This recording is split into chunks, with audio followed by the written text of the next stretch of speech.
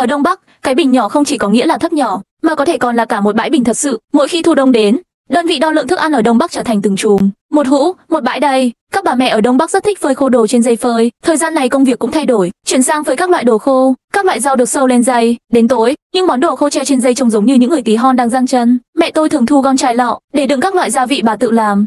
Nhưng có cái để lâu quá sẽ lên men, những chai nhựa phình ra đến nỗi sắp nổ tung, giống như quả bom vậy. Cả bãi đầy cải thảo, một góc tường toàn khoai tây, cả bó hành lớn nằm ngay ngoài nhà, còn có dưa muối trong mấy cái vại ở hành lang. Bình thường thì ăn cải thảo hầm khoai tây, khoai tây sao cải thảo, nộm cải thảo sợi, nộm khoai tây sợi. Mùa đông, khẩu phần ăn của trẻ con đông bắc rõ ràng giảm đi. Tôi ăn đủ rồi, chán lắm rồi, ăn đủ rồi. Mà khoai tây trộn của mẹ tôi thì không thể chê được cô trời ơi. Con đang làm gì vậy con gái? Bình tĩnh nào, hết tiền rồi sao? Tiền lúc nào chẳng thiếu. Mẹ ơi, nghỉ lễ ngày mùng 1 tháng 10 con về nhà, mẹ nấu cho con một nồi cơm cháy đi. Sao một chút sốt cà chua bùng nổ, sao trứng khoai tây sợi nữa, rán một con cá thu còn gì nữa? Chẳng phải con đã ăn đủ rồi sao? Làm sao mà đủ được? Món mẹ nấu có vị của tuổi thơ mà, giờ không còn cái hương vị đó nữa rồi. Dưa cà chua chẳng còn vị của cà chua, cá thu chẳng còn mùi cá, con muốn ăn món của mẹ. Mẹ à, rau thì con mua đặc sản địa phương, mới đúng vị được, gạo thì con mua của Oa Trâng, cá thu thì mua ở sâu sân, thịt cừu thì phải là của nội Mông Cổ mới đúng vị, vì đồ ngon mà chạy khắp thế giới, chẳng phải con đang quá phiền phức sao? Phiền phức gì đâu, ở nhà mẹ cũng có thể làm cho con hết mà. Ngày 19 tháng 9 này, chẳng phải lễ hội nông sản trên Gedi bắt đầu sao? Gedi Supermarket kết hợp với các vùng sản xuất, tất cả sản phẩm nông sản đều được gửi thẳng từ nguồn gốc, không qua trung gian. Chương trình khuyến mãi của Gedi lên đến hàng tỷ, giảm giá đến tận cùng luôn. Ôi, đáng tin cậy thật đấy, món lê thu nguyệt mà bố con thích, con mua một ít cho bố đi.